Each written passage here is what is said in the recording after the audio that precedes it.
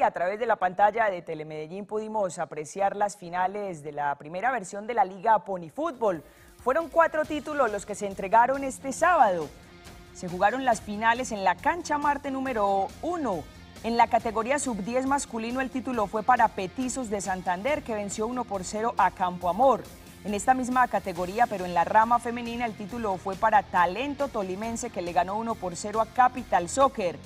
Hablamos de la categoría sub-12 en femenino que se quedó aquí en casa para formas íntimas que fue el campeón y en la rama masculina América venció por la vía de los penales a Junior y se quedó con el título de la primera versión de la Liga Pony Fútbol.